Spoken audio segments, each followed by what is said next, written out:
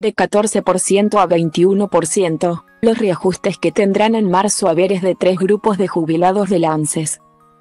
Las jubilaciones de los docentes no universitarios del Sistema Previsional Nacional tendrán el mes próximo un reajuste de 18. 69%, en tanto que los saberes de los docentes universitarios recibirán una recomposición de 21. 57%, y los cobrados por quienes están en el régimen especial de luz y fuerza subirán un 14.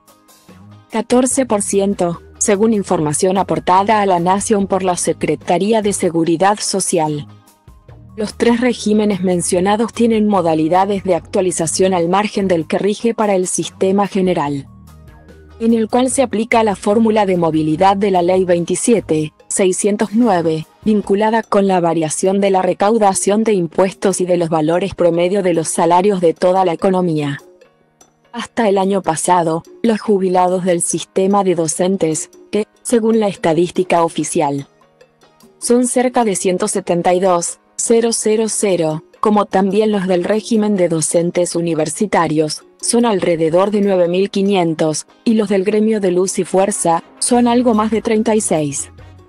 000 recibían las recomposiciones con frecuente semestral, pero eso fue modificado mediante tres resoluciones del Ministerio de Trabajo de noviembre último, que dispusieron la vigencia de subas trimestrales. Esa modificación se hizo con efecto desde el mensual correspondiente a diciembre. Pero, según lo establecido en las mencionadas resoluciones, los primeros incrementos otorgados con esa modalidad solo se hicieron efectivos con el cobro de los ingresos del primer mes del actual 2023. De esa manera, los saberes de enero se percibieron con el porcentaje de aumento trimestral aplicado y con dos reajustes adicionales, el correspondiente a la suba por movilidad de diciembre, que en ese último mes de 2022 ya estaba vigente pero no se había liquidado, y el referido a la diferencia entre el aguinaldo calculado con el valor del ingreso ya reajustado y el efectivamente cobrado en diciembre, que había sido calculado en función del monto sin actualización. En el caso de los docentes no universitarios, se otorgó entonces un incremento de 20. 15%. Esa recomposición llegó después de un año en que los haberes de ese grupo de jubilados y pensionados sufrieron una muy fuerte pérdida de poder adquisitivo. Durante 2022, de hecho, recibieron solo un reajuste de 9, 38% en marzo y otro de 40. 0,5% en septiembre. Así, entre el ingreso del inicio y el del final del año hubo una diferencia de 53. 2%, frente a una inflación de 94,8%, lo que determinó que el poder adquisitivo fuera. En el segundo momento de la comparación, un 21,4% más bajo. La caída del ingreso en términos reales había sido aún más pronunciado. De alrededor de 30%, en agosto, antes de que se diera la segunda recomposición. Frente a la muy alta inflación, las demoras en la aplicación de las actualizaciones incrementan. Lógicamente, el daño producido a los ingresos. A diferencia de lo ocurrido hasta 2022, cuando las subas eran en marzo y en septiembre. A partir de este año en los tres regímenes mencionados habrá reajustes en marzo, junio, septiembre y diciembre. Para definir la movilidad de los jubilados del esquema de docentes no universitarios, que en 2022 tuvieron un haber promedio de 135 dólares. 639, según datos de la Secretaría de Seguridad Social, se tiene en cuenta la variación trimestral de un índice llamado RIBDOC, remuneración imponible promedio docente. En el caso de la suba prevista para marzo, se observó lo ocurrido en el cuarto trimestre de 2022. La variación de ese indicador durante este primer trimestre de este año, en tanto, determinará el reajuste de los saberes que se aplicará en junio. En el caso de quienes fueron docentes de universidades públicas nacionales, cuyo ingreso promedio el año pasado fue de 198 dólares. 487, se observan los porcentajes acordados en las paritarias para los salarios de quienes están en actividad. Para marzo, corresponde el dato de la suba pactada para el cuarto trimestre del año previo, en este caso, de 2022.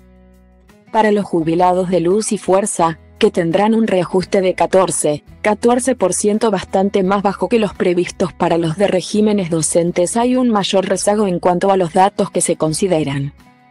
Concretamente, el porcentaje de suba de marzo próximo surge de la variación de los salarios del primer semestre de 2022, del nivel de incremento de allí surgido. La mitad se aplicó con efecto sobre los haberes de diciembre, aunque se cobró efectivamente en enero. Según lo explicado unos párrafos más arriba, y la otra mitad es el porcentaje que se aplicará el mes próximo con respecto a las jubilaciones y pensiones del régimen general contributivo y a las prestaciones no contributivas. El índice de recomposición del mes próximo se conocería el viernes de esta semana. Luego de que el INDEC publique su informe sobre el índice salarial referido a diciembre último. En este caso, el del sistema previsional que a más personas comprende, se utiliza la fórmula de movilidad aprobada por el Congreso en diciembre de 2020. Sus componentes son la variación interanual referida a un trimestre de la recaudación de los impuestos cuyos recursos se derivan parcial o totalmente al ANSES. Medida por beneficio, y en la evolución trimestral de los salarios, según uno de dos indicadores, la remuneración imponible promedio de los trabajadores estables, RIPTE. O el índice de salarios ya mencionado, elaborado y difundido por el INDEC, se toma en cuenta el que arroje en cada periodo de referencia, el porcentaje más alto. En 2022, esa fórmula determinó un reajuste acumulado, entre los cuatro otorgados. De 72, 48%, muy por debajo de la inflación del año, que se ubicó en el 94, 8%. Dada esa brecha, los jubilados que no recibieron bonos compensatorios tuvieron una pérdida de poder adquisitivo de 11, 5%. En el cálculo para el reajuste de marzo se consideran datos del cuarto trimestre del año previo y, según estimaron economistas como Rafael Rothman y Sergio Rottenschweiler y el equipo del IERAL.